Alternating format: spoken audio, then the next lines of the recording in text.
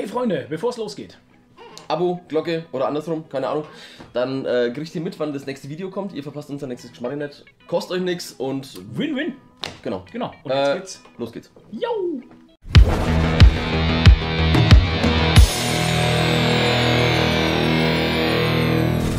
Hallo und herzlich willkommen zu einer neuen Comic Review auf Geekeriki, dem Nerdkanal. Es passt ja gut zusammen, dass wir Geekeriki heißen und wir das Adventure Huhn vorstellen. Oh Gott, das ist so. Es Der ist, ist flach, aber okay. ja, aber Mann, das ist also passender geht's ja gar nicht, oder? Adventure Huhn und Geekeriki.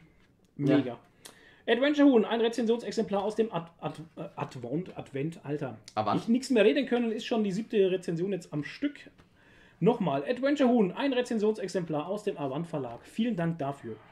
Wir haben 92 Seiten in einem Softcover. 16 Euro. Autor und Zeichnungen sind von Franziska Ruffler.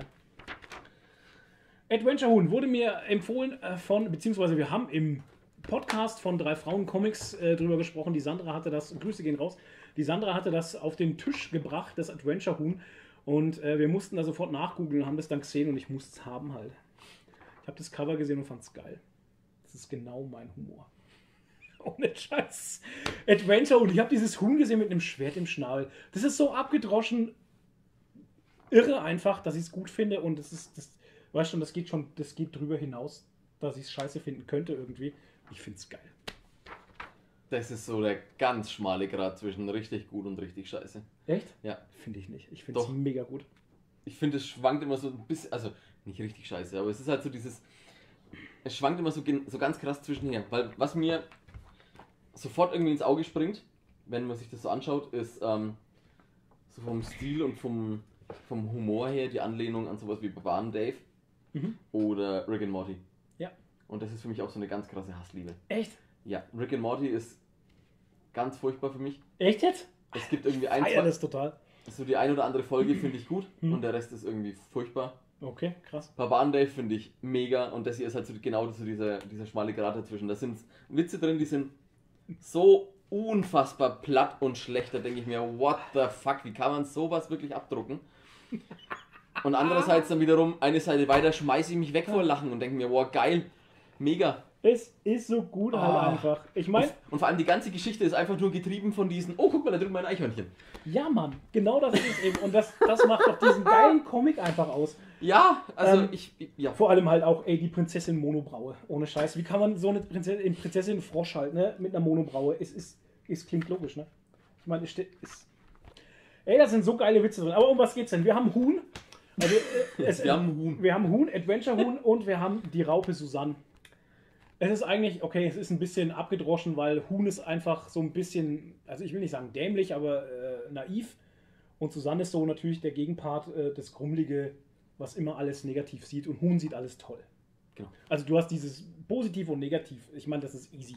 Easy, easy Storytelling, sage ich mal, das funktioniert bei den meisten. Was ich auch schön finde, sind die Zeichnungen tatsächlich, weil ähm, könnte es auch als Kinderbuch durchgehen. Das Ja. ist also von der Sparte her an Menschen, die das, die das anspricht, äh, mega gut gemacht, finde ich ganz gut, weil ähm, von vorne bis hinten, du von, von jung bis alt sprichst du eigentlich jeden an. Ich So, mag, so fühle ich mich dann. ich mag den Stil, weil es dann einfach zum Storytelling und zur Geschichte Mega. passt. Ja. So wäre es jetzt nicht mein Stil, aber ähm, es passt einfach super zum Storytelling und, wie, und zu den Charakteren. Ja. Es, es hätte nicht anders gezeichnet sein können. Nee, stimmt. Da Das würde jetzt zum wirklich Beispiel, so, ja. da würde jetzt auch ein Scotty Young-Stil, der ja in eine ähnliche Richtung geht, Mhm. finde ich, würde, ich, würde nicht passen. Nee. Es muss wirklich so, sorry, billig gezeichnet sein. Es ist nicht billig. Aber es ich weiß, ist, was du meinst. Es ist einfach gezeichnet. Im Ver- Also mit, mit billig meine ich jetzt nicht schlecht oder minderwertig, sondern es ist einfach gezeichnet. Hm. Das, ne, hier nur mal so klarstellen. Ja, ja. Ähm, ja, das siehst du jetzt auch hier an den, an den Kolorierungen Es ist- und so. Ne? Es ja, gibt, ja. Es gibt, keinen, es gibt keine, keinen Farbverlauf. Wenn eine Fläche einen Farbverlauf haben soll, hat sie zwei Farben. Fertig. Ja, genau. Ne? Also es ist Ja. einfach gezeichnet. Ja, aber das ist genau, so soll es sein. Ich, ich finde es halt einfach auch sehr gut. Vor allem so derpig, wie manche Charaktere einfach auch gucken manchmal. Ne? Das ist für mich halt dieser Rick and Morty Humor halt auch, wo halt auch immer so, wo du denkst so, oh gut halt. So gut einfach. Ähm, Genau. Huhn. Und Huhn. Huhn spielt mit dem Schwert rum, schneidet aus Versehen den Kokon von Susanne ab und sie kann sich nicht weiterentwickeln. Das ist das gröbste, schlimmste, was in dem Comic passiert einfach. Also für Susanne. Genau.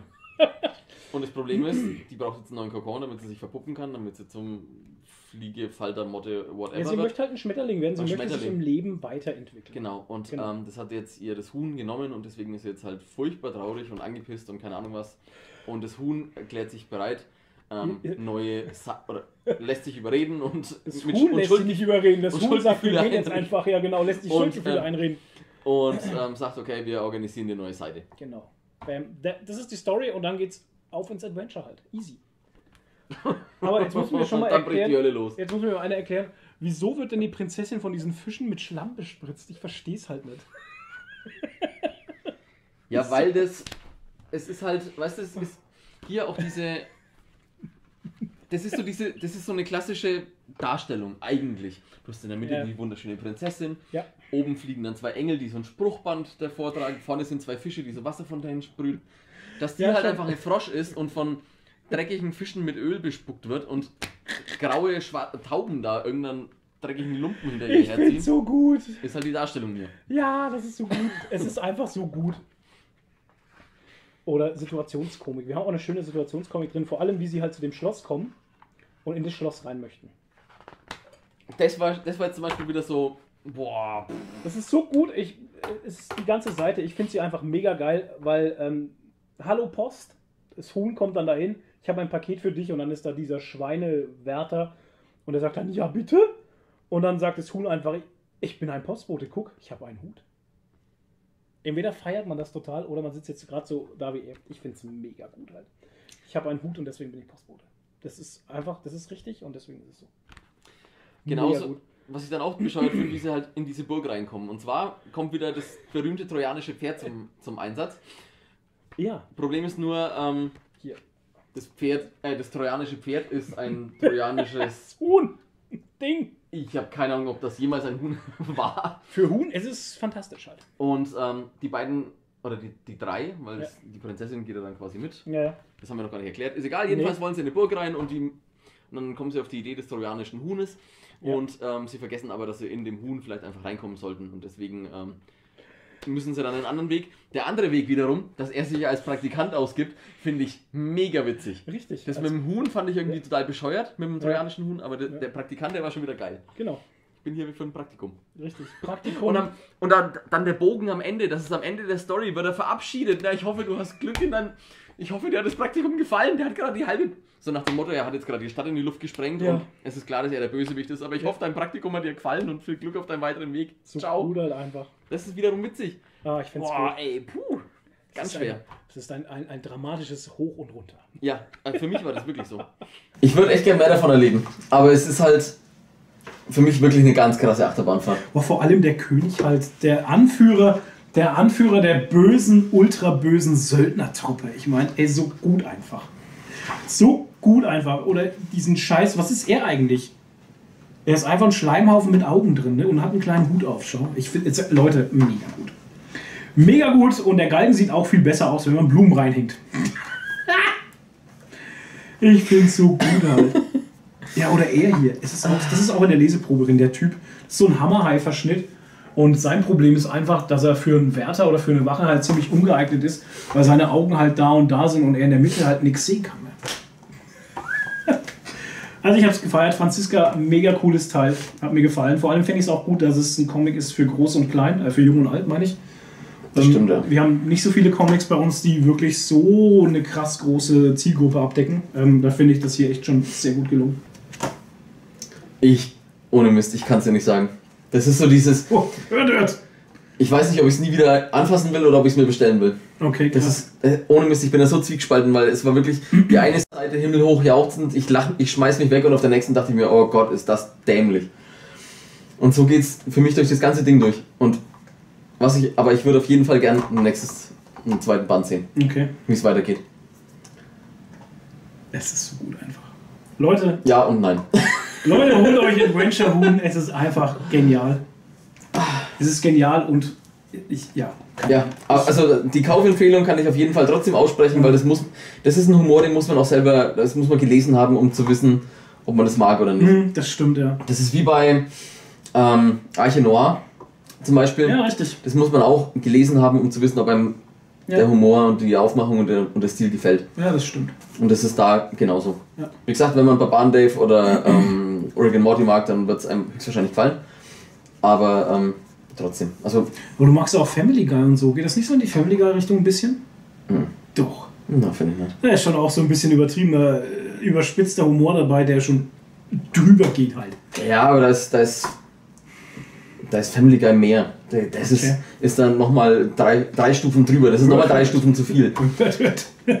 Beste Szene: Peter fällt hin, stößt sich das Knie. ja. Okay, nach dem dritten Mal ist genug. Nein, er macht es noch viermal, noch, noch weiter. Aber es ist noch mehr überspitzt, meinst du? Okay, da fehlt es dann mir ein da ist bisschen. das, da ist das wie bei Rick and Morty und wie bei, wie bei Barbaren Dave ist Ja. es, es ist kindertauglich. Mhm. Rick and Morty nicht unbedingt, aber wenn du, es ist nicht so, dass, ja, ja, aber bei Rick and Morty ist so, wenn du den Witz nicht checkst, ist es nicht schlimm. richtig, genau. Es ist nichts, wo du, keine Ahnung, dass jemandem das Hirn rausgeschossen wird und deswegen kannst du es nie, keinem Kind zeigen. Okay. Sondern Ja, ja. wenn das Kind es sieht und es checkt den Witz nicht, ja, Glück gehabt. Ja, genau. richtig. und genauso ist es hier halt auch. Deswegen, ja. es ist ein- eine ähnliche Richtung, aber halt trotzdem noch kindgerecht und nicht, nicht Ja, das stimmt krass. schon. Es, manche Witze werden vielleicht kleinere oder jüngere nicht so wirklich verstehen oder manche Hinweise, beziehungsweise, keine Ahnung, manche Sachen werden es halt einfach nicht verstehen, aber es ist nicht schlimm halt. Genau. Genau. Das stimmt schon. Wo wir Erwachsene halt drüber lachen und es feiern halt. Ja. Das stimmt schon. Wie die Prinzessin hier. Weg da! so gut einfach. Ich find's gut. Okay, Leute, wir haben lange genug geschnackt drüber. Ziehen wir das nicht noch weiter in die Länge. Wir hauen jetzt ab ins nächste Adventure und wünschen euch viel Spaß bei der nächsten Review oder was auch immer ihr jetzt gerade macht. Bleibt gierig, bleibt nerdig, haut da rein. Ciao, ciao! Adi!